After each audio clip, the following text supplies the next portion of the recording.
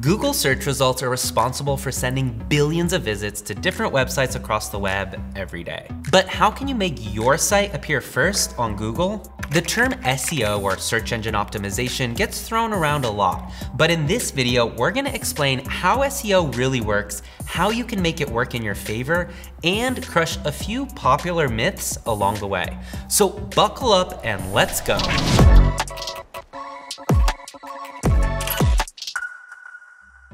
Have you ever wondered how Google decides which results to show you when you type in the most random question? Which results will appear on the top of the first page and which on the bottom of the 12th page?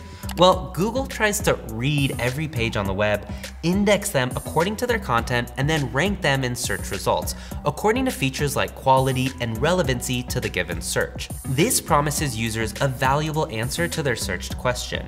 But what if I'm a creator?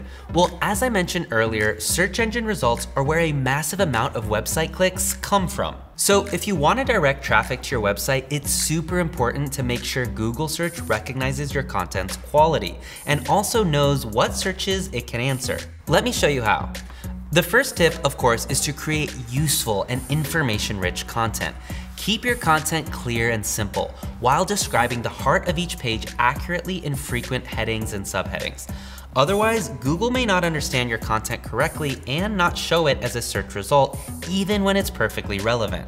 You can use Google's URL inspection tool and make sure it can index your web page correctly and pull it out for future searches. Second, don't just copy content from other websites because Google will easily recall reading it before and draw conclusions about the amount of value your content can bring as a search result. Think of yourself as a user. Don't you hate it when the top three search results repeat each other?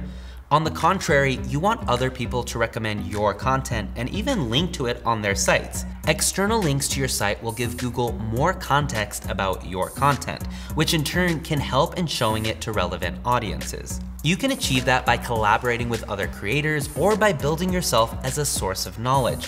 For example, if you're writing a travel blog, ask the last place you wrote about to feature a link to your post on their website. Be creative, but don't use services that offer to link your site for a fee.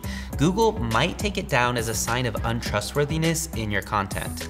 On to the third tip, and this just might be the most important one.